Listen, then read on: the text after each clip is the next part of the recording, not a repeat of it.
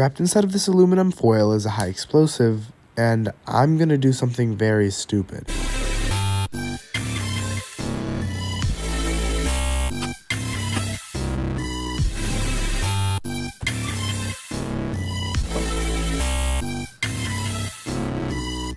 In this video, what I'll be doing is I'll be turning a seemingly harmless chemical into a high explosive, and the chemical that I'll be starting off with called acetylsalicylic acid.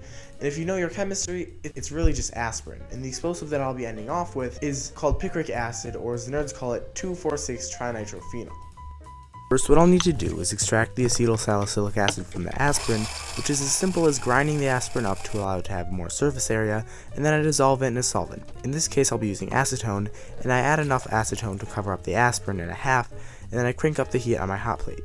This is to allow the dissolution of acetyl salicylic acid to occur, and when it does, it'll occur faster. The next step of the extraction is to filter out the filler from the aspirin. So basically, a pill isn't just the drug itself, but it also contains filler, which makes the pill bigger and extends the time it takes to digest the medicine. Now that the acetyl salicylic acid is all filtered through, I can weigh out 10 grams of it and add that to 40 milliliters of concentrated sulfuric acid.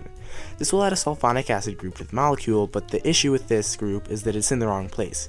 And to correct it, all I have to do is heat the solution up to 100 degrees Celsius, which turns the solution black for some reason, I don't know.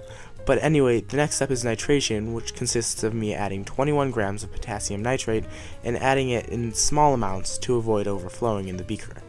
Also, the hot plate has to be heated to 90 degrees Celsius because if it's any lower, it would result in side reactions that could potentially ruin the yield completely. Once the potassium nitrate is added, I keep it on the heat for about an hour and then I get ready for the next step. Now all I need to do is add the solution to some ice cold water and this turns the solution a chalky yellow color. I had a hole in my glove that I didn't realize until my hand was stained so yellow that it looked like I was jacking off a minion. Seriously though, this stuff will like stain anything. It took like 10 days for the stain to get out of my hand, and I had to cut off my fingernails to get rid of the yellow color on there. Anyway, the next and final step is really simple. It's just a recrystallization, and all I'll need to do is filter out the solution and boil it down until there's only about 250 mils of the solution left. After this, I can leave the solution out to cool, and this is because it's about 10 degrees Celsius out here, so it's good. I will admit that I should have let it cool slowly to encourage larger crystals to form, but I was feeling a little gangster, and I didn't want to listen to what I should have done. Now that the crystals are formed, I want to wash them out with some cold water to get some of that red color out. What I'm left with is wet picric acid. This is the end of the video, I guess, so without further ado, thanks for watching.